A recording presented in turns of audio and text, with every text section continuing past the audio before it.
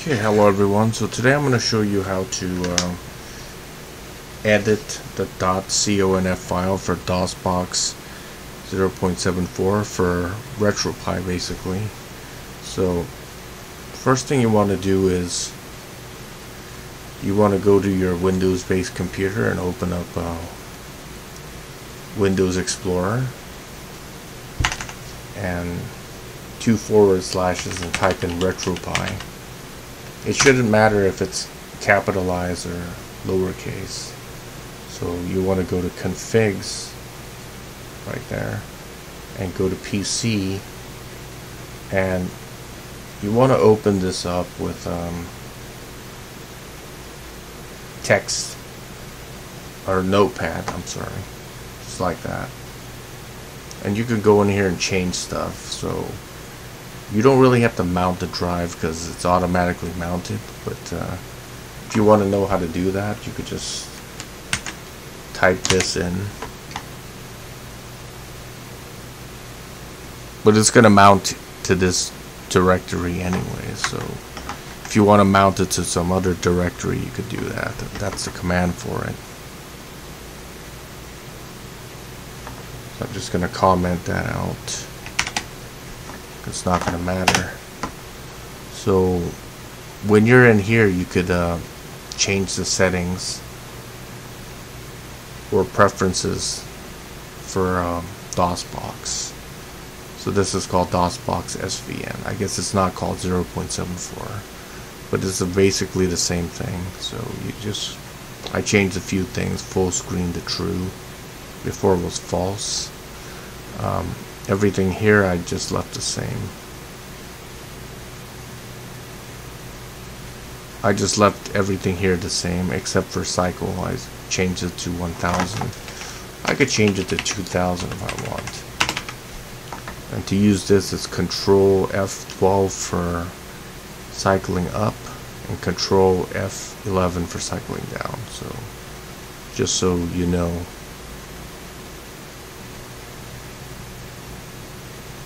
CPU cycles at maximum.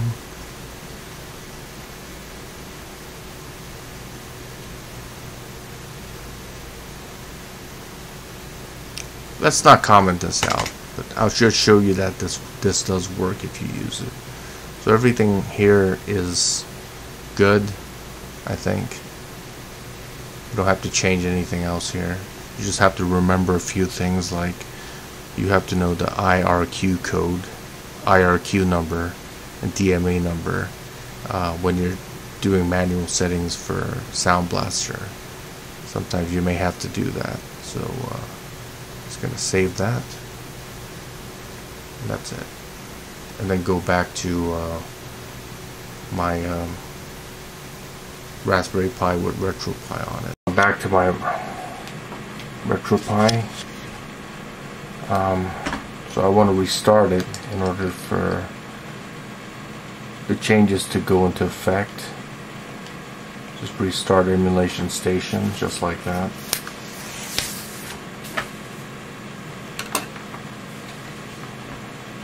And go back to DOSBox. You could run the games like this, just I put the games into the ROMs directory already. Um, you just have to know the .exe or .com or .bat file.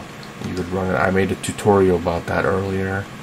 Uh, you could see that in the video descriptions. I mean, um, the video cards right there.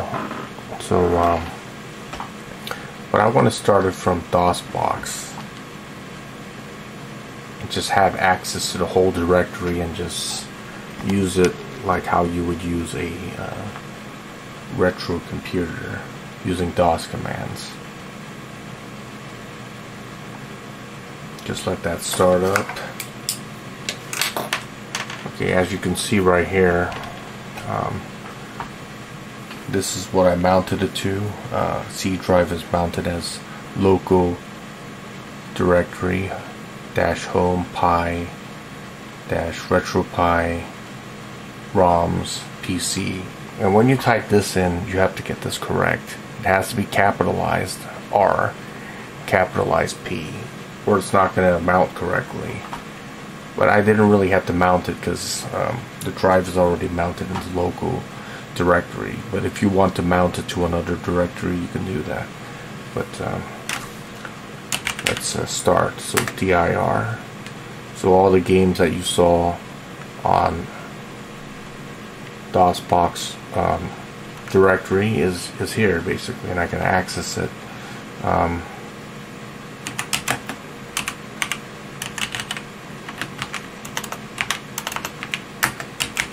I could run the games like this. Nuclear. Okay. Use the mouse and everything. Just select my enemies.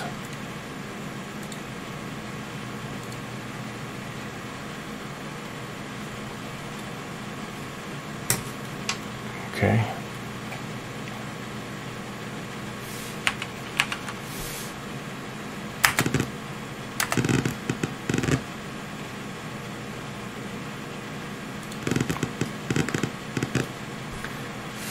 Press Control F12 to get the speed up a little bit.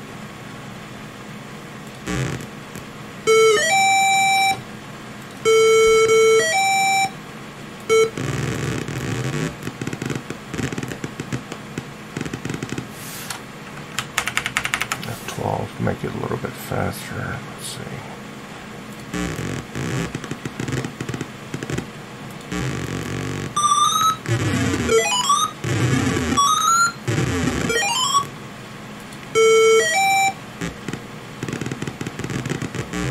Got nuked.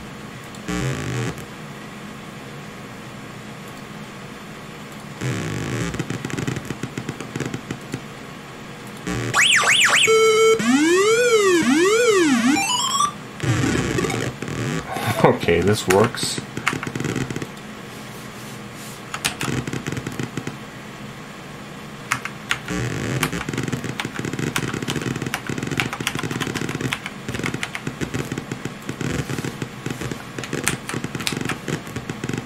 Hmm.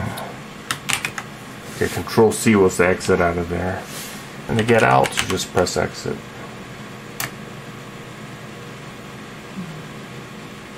Just like that. So you could um, access the game or games through uh, the DOSBox directory, which is in ROMs, RetroPie, ROMs, PC, and then I put all the games in there already so I can access it like that which is pretty good. Um, and you could change the settings the .conf file to uh, make it run better or whatever. Okay so that's it. So I do have videos on um, how to configure DOSBox uh, .conf file and um, I'll leave that in the end cards again so you could see that if you want to. So anyways thanks for watching. By Ace. 1000KS 1975 signing out